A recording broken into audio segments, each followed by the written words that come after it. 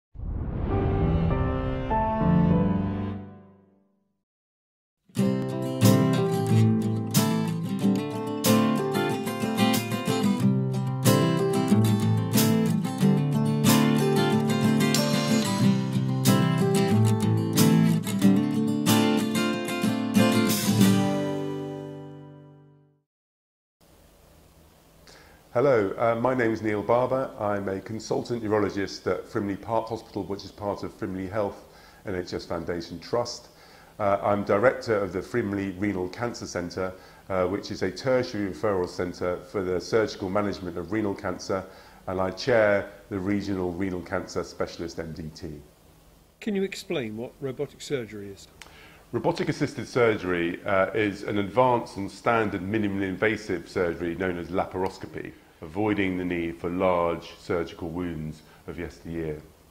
The advantages of robotic assisted surgery uh, are threefold really. Firstly, uh, there is the advantage in terms of vision, which is 3D and binocular rather than the 3D vision you might have at the cinema or at home.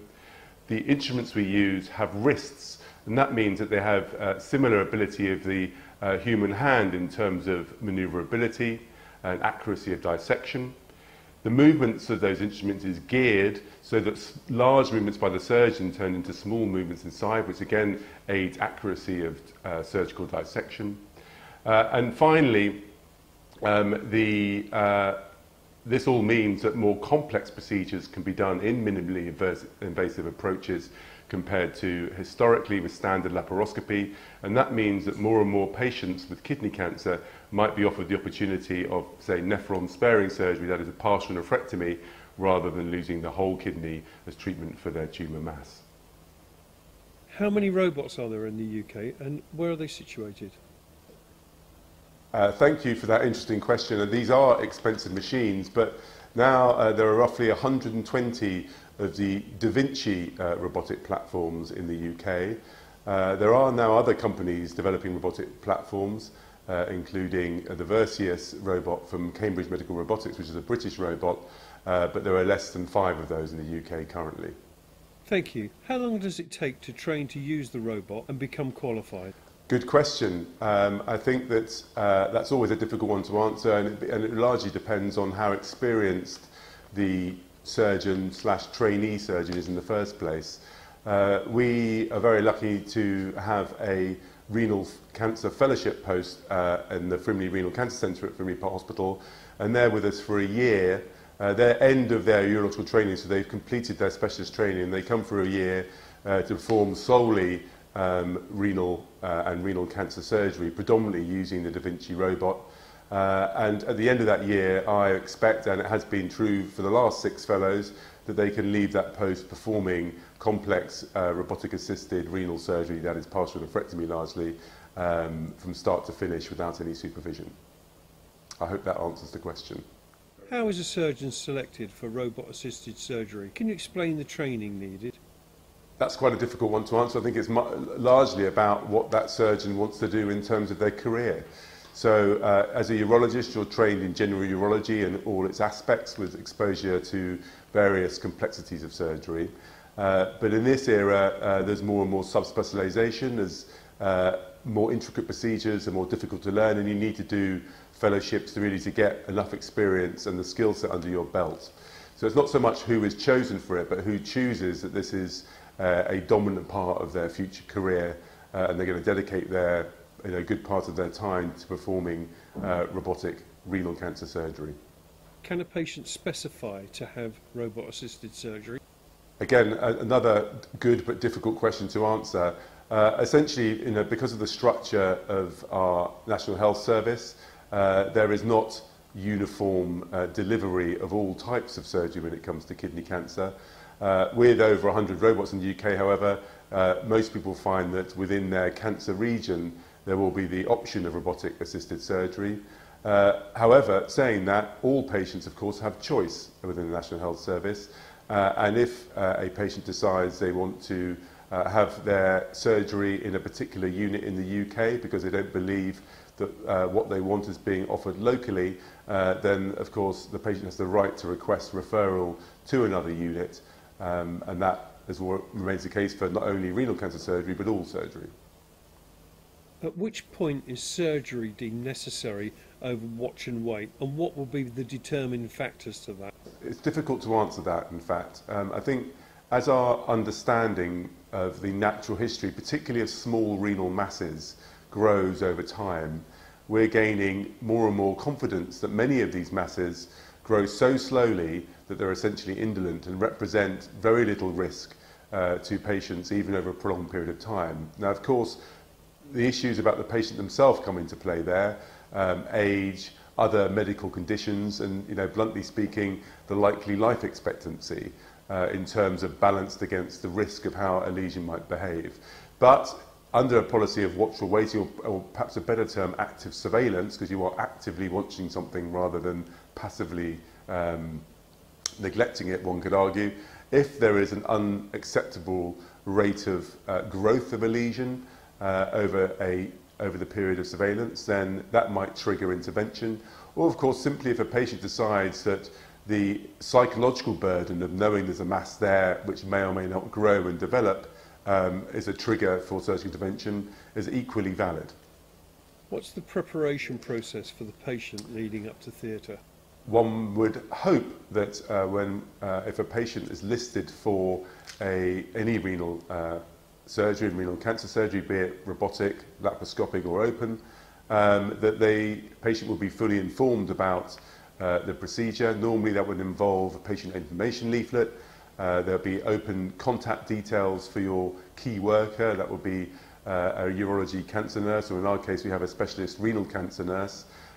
um, such that any questions beforehand can be answered and there's a person that you know you can touch base with.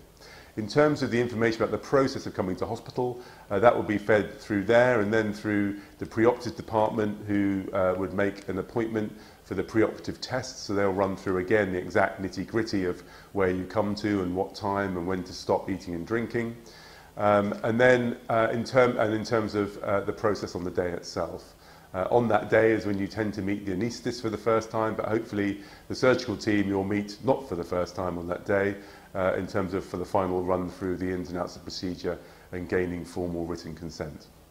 As well as a partial nephrectomy, can the robot perform radical nephrectomies too? Thank you for your question. Yes, you can perform any of, the uh, uh, surgery required for renal cancer robotically. Uh, perhaps sometimes the sheer size of a mass may make that inappropriate or difficult, or indeed the uh, local disease itself may make that more difficult. But in fact, as time has gone on and experience and confidence has grown using robot, the, these robots, there more and more complex surgeries performed, be it removing a whole kidney, be it a partial nephrectomy, uh, or be it even removing uh, the kidney and the tube that runs down to the bladder, the ureter, for a slightly different type of uh, renal tumor uh, called urothelial carcinoma. So yes, pretty much all aspects of uh, renal cancer surgery can be performed using the robot with increasingly few exceptions. When performing a radical nephrectomy, what happens to the remaining pipe from the kidney? Is it just tied up? Thank you for your question. Um, when the kidney is removed, uh, both the blood vessels feeding the kidney, that's an artery and a vein, or there may be multiple, and indeed the tube, the ureter, that drains urine away from the kidney uh, are blocked off in various ways. Uh, we use in the Frimley Renal Cancer Centre uh, things called hemalock clips or wet clips, and they're polymer clips which lock um, and are very secure. Uh, and those are applied to both the cut ends of the artery, the vein, and indeed the ureter. So yes, the ureter is blocked off um, within the field and scope of surgery, which is normally down to about uh, sort of 10 centimetres or so off the kidney. Thank you. How long does the operation take and is it painful? I think in this era um, it's always difficult to answer that question because it will, vary, it will vary hugely from unit to unit uh, and indeed to some extent from patient to patient in terms of the complexity of the operation. But I think it would be reasonable to say, certainly in my experience at, the, at Frimley Hospital and Frimley Renal Cancer Centre, uh, is that a uh, laparoscopic or robotic radical nephrectomy, those removing the whole kidney, uh, will take somewhere between one to two and a half hours, depending on complexity. Um, this is a little bit sore afterwards, as you have to extend one of the so-called ports, the keyholes, so it's big enough to take the kidney out through as a whole specimen to be sent off to the pathologist.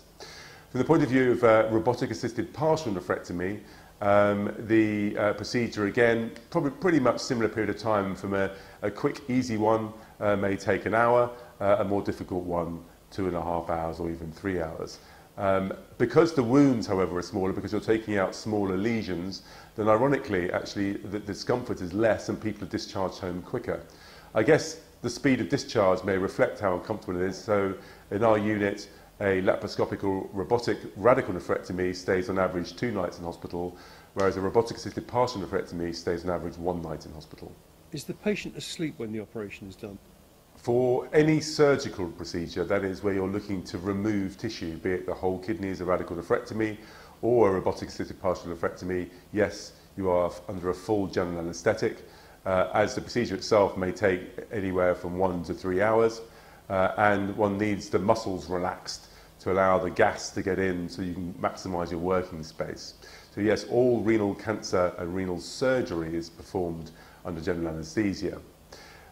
Some alternative treatments for small renal masses uh, are so-called ablative treatments, and this is using either cold or heat, that is cryoablation or radiofrequency ablation, to try and treat these tumours, uh, often image-guided in the CT scanner. Now, these procedures in the modern era tend to be performed under what is known as conscious sedation, so you're half asleep, essentially.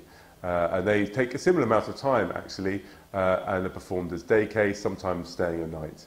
Uh, but that's the differences between a surgical procedure which will remove the tumour uh, through whatever route and an ablative procedure which is trying to avoid that essentially yet still treat the tumour. How long is a patient likely to be in hospital for from admittance to going home? Thank you for the question. I think that um, as far as, again, it depends on which type of operation you're having. Uh, if you're having a laparoscopic or robotic assisted radical nephrectomy, then a lot, slightly larger wound is necessitated to extract the kidney and the tissue around it, and including the mass. With a robotic-assisted partial nephrectomy, the wounds are smaller because the mass lesion you're taking out is smaller. As a result, those undergoing uh, removal of the whole kidney uh, in our unit spend an average two nights in hospital. That's from the coming in on the day of the surgery and going home after two nights stay. Uh, if you're undergoing a robotic-assisted partial nephrectomy in our unit, then the average length of stay is in fact one night. So you're coming in on the day of surgery, be it the morning or the afternoon, and usually going home in the afternoon the next day. Remarkably quick, I think, and really quite extraordinary. And I think this says a lot about the advantages of minimally invasive surgery, and particularly robotic assisted. Thank you. What is the recovery time? How soon can a patient expect to go back to work? We normally suggest that uh, patients plan to take four weeks off any strenuous activity um, as a reasonable plan. Uh, it's not so much about the wounds and being sore, but this is major surgery and your body and its physiology is well aware of that. And it's really most people uh, that do feel tired and they'll do some kind of exercise, exercise or activity which wouldn't think would be particularly tiring but feel exhausted afterwards. And it's that, in fact, that takes the longest to settle itself down and after any of these surgery, be they laparoscopic, robotic, taking out the whole kidney or partial nephrectomy. Uh, however, most people in reality uh, are back to doing normal things a week or two quicker than that. So somewhere between two to four weeks uh, would be a reasonable um, uh, guess, I suppose. Um, but obviously it varies from person to person. When younger people get back to normal activity quicker, older people may take a little bit longer. If a previously inoperable tumour has been reduced to within the kidney with immunotherapy and is currently stable, what are the benefits or risks to it being removed? Thank you for that uh, very difficult question, to which I'm not sure we have the greatest evidence base to really know what the right answer is. Certainly, in younger people in particular, if there's been a good response to immunotherapy and there is a remaining mass in the kidney, then we would look to see whether removing the kidney is feasible in a sensible manner in terms of safety and would offer it to the patient there is an ongoing assumption with some evidence base that that patient will then do better. And indeed, if the immunotherapy has cleared, if you like, the metastatic disease or the locally advanced disease, that it would then render them tumour-free, theoretically, uh, and would allow them to get off treatment uh, and following surveillance thereafter. There, of course, are circumstances where a good response to immunotherapy may not be necessarily followed by surgery because the surgery might be deemed still very complicated and carry such a burden of risk that the potential slash theoretical advantages aren't worth it. So really, I think that, that question is on a, would only be answered on a case-by-case -case basis, and those, that case should be discussed uh, through a specialist renal cancer multidisciplinary team, or MDT, where both surgeons oncologists are present. This patient asks, my surgeon mentioned that if my kidney cancer is a transitional cell carcinoma, he would have to trace it down from the kidney to the bladder and remove that pipe as well, and potentially part of my bladder. He said four or five years ago they couldn't do it in one operation, but with the advancements of robotics they can now do it in one. Could you talk a bit about the advancements in robotics up to this point, please? Uh, thank you for that question. So Uh, in essence, there are two types of cancer that can arise within the kidney. Uh, the first type, the renal cell cancers, arise from the meat of the kidney, uh, in fact, the functioning uh, filtering units of the kidney. The second type of kidney cancer arises from the drainage system of the kidney, and the lining of that drainage system, uh, the urothelium, is also known as the transitional cell urothelium. Uh, and it is that tumour to which your surg that you unfortunately have and which your surgeon is referring to. That lining is the same from the kidney all the way down to the bladder and indeed within the bladder itself. So if one was just to remove the kidney and the tumour, you'd be left with a blind tube with this same lining, which would be very difficult to keep an eye on in terms of uh, checking for recurrence of disease. And therefore, the standard of care is to perform what's known as a nephroureterectomy. So nephro, take the kidney, ureter, the ureter and ectomy, removing them. So, and that you need to do to make sure you've got it all. You also need to take a small cuff of the bladder right at the end of the ureter or the draining tube to ensure complete clearance. Now that is a slightly bigger operation than just removing the kidney itself, as obviously it's in two different uh, parts of the body almost. Um, with laparoscopic, but now particularly with robotic-assisted surgery, uh, the um, platforms mean that you can perform initially an nephrectomy, and this is the way that we do it, uh, and then simply swivel the robot to then attend to the ureter as it moves down towards the pelvis, and indeed ensure complete removal of the ureter into the bladder, and still close the bladder watertight so to minimize the need for a long-term postoperative urinary catheter, so a tube draining urine out of the bladder. So we've been using the robot uh, like this well, for the last 10 years, uh, and with the newest platform, the XI, which we've just got uh, delivery of for every part. Uh, this means that we don't even have to redock the robot. They can just literally just spin it so that it's facing one direction and then the other, which makes the whole procedure not only easier in many ways, but also uh, more efficient and quicker. So yes, the robot has distinct advantages in my eyes in terms of performing this procedure. And again, if you look at the experience of the patients uh, in our centre undergoing that, most people stay only two nights in hospital and go home without a catheter. We're achieving the same kind of cancer cure rates as we were with either open or laparoscopic, uh, so standard keyhole surgery. And finally, what are the developments in novel treatments? What can we expect to see in the future? I think over the last decade, we've seen a whole raft of changes from the surgical aspect in terms of the management of kidney cancer. Of course, there have been a whole other raft of changes and developments in the world of oncology, so that's treating metastatic or advanced disease. In the surgical world, where you are aiming, remember, to cure the patient, uh, there's been two big changes. Firstly, was the arrival of the robotic platforms, uh, and secondly, the development of uh, CT-guided, so image-guided, ablative procedures for particularly small tumours, perhaps in those people who aren't fit for surgery.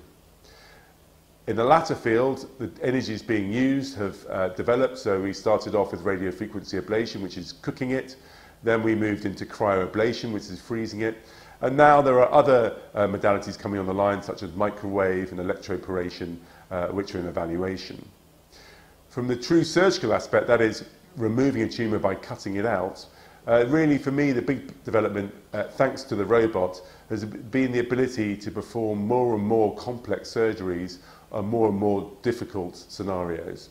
So once upon a time, those patients being offered nephron-sparing surgery, that is just removing the tumor and protecting the rest of the kidney, would be for the smaller tumors in good or friendly locations in terms of the access for surgery. But roll on time, and the robots allowed us to offer nephron-sparing surgery to more and more complex scenarios, bigger tumors more deeply involved in the kidney, uh, more difficult to access. Uh, and this means that we've seen a shift uh, away from a uh, uh, shift in terms of the numbers of patients who are undergoing a radical nephrectomy now being overtaken by those patients who are being offered a, a robotic assisted partial nephrectomy. And we, we do this because we have the skill set and the experience and the tools to do that, but also there is the evidence that if we can preserve somebody's kidney function to the best of our ability, we have the same rates of cure from the cancer point of view, but to, is to the patient's advantage in terms of their long-term health and indeed longevity because we're preserving a greater proportion of their renal function.